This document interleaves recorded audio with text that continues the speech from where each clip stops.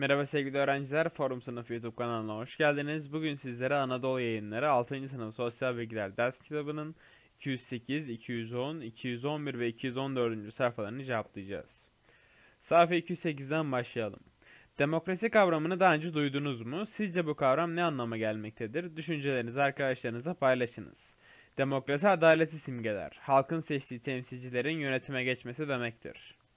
Sınıf başkanını belirlemek için izlenen yol sizce uygun mudur? Niçin öyle böyle düşünüyorsunuz?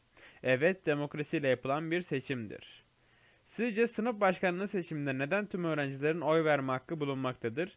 Çünkü herkes eşittir, herkesin oy kullanma hakkı vardır. Sınıf başkanlığı seçiminin demokrasi açısından önemi nedir? Açıklayınız. Demokrasi demek yöneteceğin kişiyi kendin seçmektir. Sayfa 210 Öğrencilerin verdikleri bilgilere göre yönetim biçimlerini aşağıdaki gibi bir tablo üzerinde karşılaştırınız. Bunu yaparken demokrasinin temel ilkelerini göz önünde bulundururuz. Halkın yönetimde söz hakkı var mıdır? Cumhuriyeti işaretliyoruz. Farklı görünüşler yönetimde söz sahibi olabilir mi? Oligarşi, teokrasi ve cumhuriyet işaretliyoruz. Özgür düşünce ortamı var mıdır? Sadece cumhuriyet işaretliyoruz. Sayfa 211. Yasama, yürütme ve yargı kavramlarından ne anlıyorsunuz? Düşüncelerinizi arkadaşlarınıza paylaşınız. Yasama, kanunlar çıkarmak. Yürütme etkisi, ülke anayasa ve kanunlara göre yürütmek.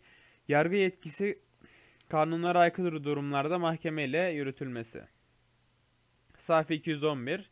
Türkiye Cumhuriyeti Devleti'nde yasama, yürütme ve yargı güçleri arasında nasıl bir ilişki vardır? Öğrendiklerinizden yararlanarak düşüncelerinizi defterinize yazınız.